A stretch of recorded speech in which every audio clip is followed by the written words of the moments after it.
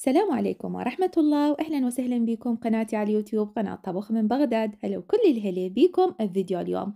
تعالوا اليوم يا جماعة نسوي الطرشي الأحمر العراقي بأسهل وأطيب طريقة. راح يطلع وياكم مضبوط وطعمه يجنن. راح أشرح لكم بالفيديو كل أسباب فشل ونجاح الطرشي الأحمر فإن شاء الله تستفادون من الفيديو وتجربون الطرشي وعلى قلبكم بألف صحة وعافية.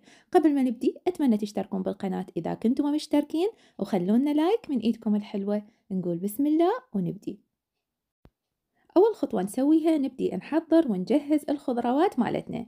راح أستخدم كيلو من اللفت اللي هو الشلغم مثل ما نسميه بالعراقي. غسلته كل زين وراح أبدي أشيل الأطراف مالته والحافات بهالشكل هذا وأبدي أقطعه. السمك مالت التقطيع ما يكون كلش رفيع ولا يكون كلش ثخين. بهالشكل هذا اللي راح تشوفوه. ممكن تقطعوه بالسكين أو باستخدام هاي الحافات المقرنصة.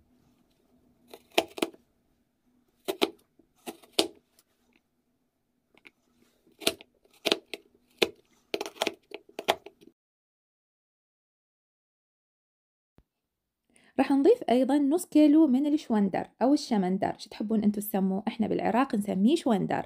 راح أضيف نص كيلو من الشوندر غسلته كل زين وأيضا راح أقطعه بنفس السمك اللي قطعنا بيه اللفت. وطبعا إضافة الشوندر كلش ضرورية لأنه هو اللي راح ينطي اللون الحلو للطرشي مالتنا.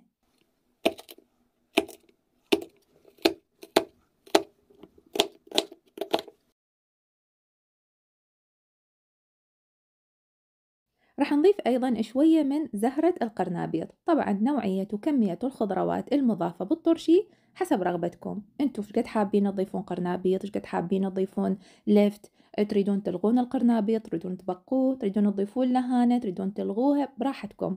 هاي شغلات ممكن تتحكمون بيها. القرنابيط هنا أنا غسلته كل زين وبعدين بديت أفصصه وأقطعه بإيدي بهالشكل هذا على مود تبقى محافظة على شكلها الحلو وما تتكسر عندي.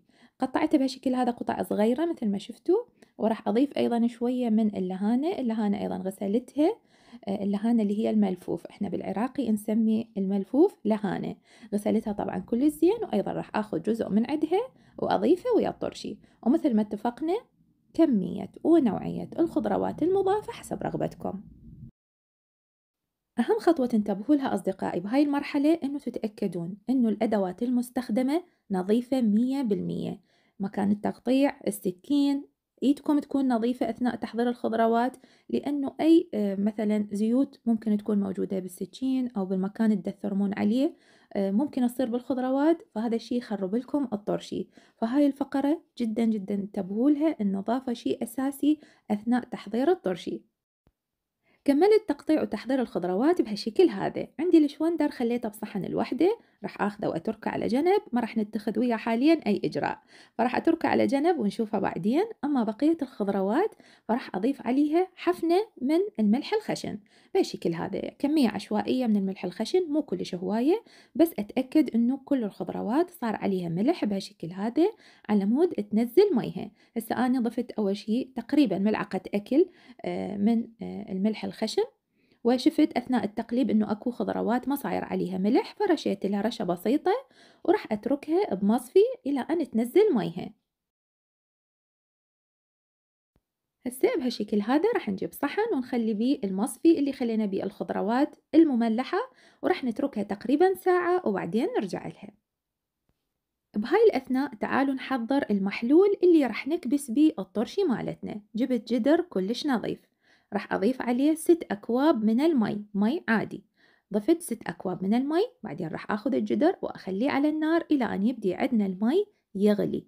أول ما يبدي عندنا المي يفور راح أضيف عليه ثلاث ملاعق طعام من الملح الخشن أو ملح البحر. لازم تستخدمون ملح خشن أو ملح البحر في تحضير الطرشي. راح أضيف أيضا ملعقة طعام من السكر ونخلط المكونات مع بعضها بعدين نطفي النار ونترك المي إلى أن يبرد مية بالمية. راح نرجع هسه للخضروات اللي ملحناها وتركناها لمدة ساعة. راح نشوف إنه نزلت كمية من المي.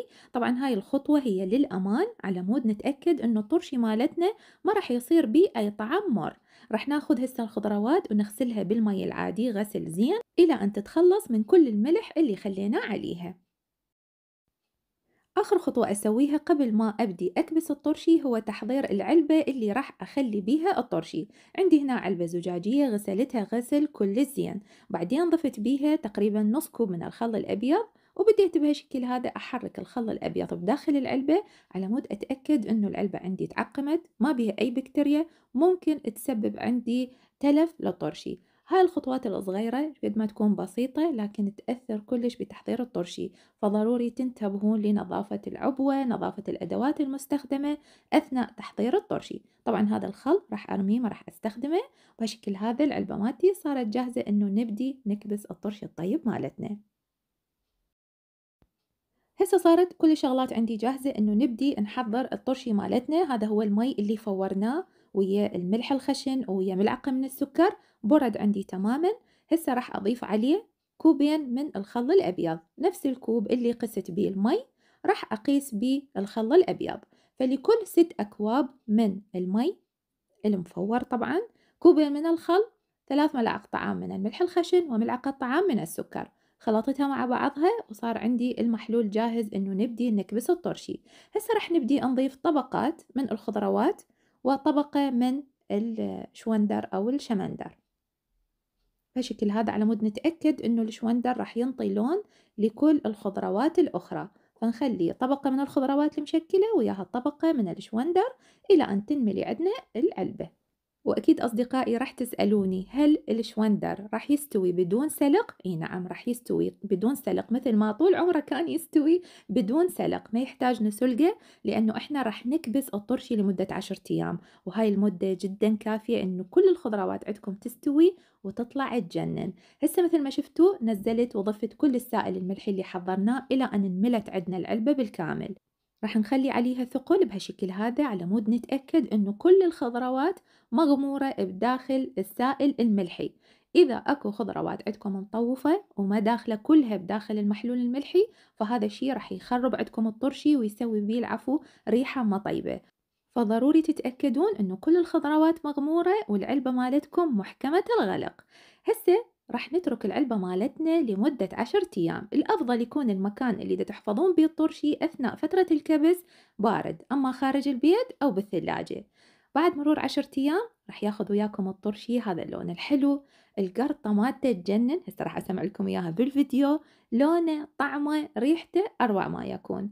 الطرق القديمة بتحضير الطرشي دائما تفوز. الطرشي وخصوصا الطرشي الأحمر لازم ياخذ وقته بالكبس على مود نحصل على النتيجة اللي ترضينا. وشوفوا بسم الله ما شاء الله شلون طرشي. تمنيته قدامكم أصدقائي. طبعا هذه طريقة بيفيتي تجنن لازم تجربوها. وأهم نصيحة أصدقائي حتى يبقى وياكم الطرشي مقرمش لآخر قطعة ضروري تحفظوه بمكان بارد. ما راح يخرب وياكم ما راح يستوي ويلحق ويصير طري لا. احفظوه بمكان بارد يبقى وياكم مثل الورد. تعالوا هسه نسمع القرمشة. وي وي وي وي. بسم الله ما شاء الله. والله يستاهل مليون لايك. ضروري أصدقائي تجربون الوصفة وتستمتعون إن شاء الله بأطيب طعم بهالشكل هذا نكون وصلنا لنهاية الفيديو مالتنا. شرحت لكم بالتفصيل كل تفاصيل نجاح الطرشي الأحمر. انتبهوا لكل الخطوات والنصائح اللي ذكرت لكم إياها وإن شاء الله تجربوها وعلى قلبكم بألف عافية. هذا كل ما كان عندنا اليوم. أشكر متابعتكم ومع ألف سلامة.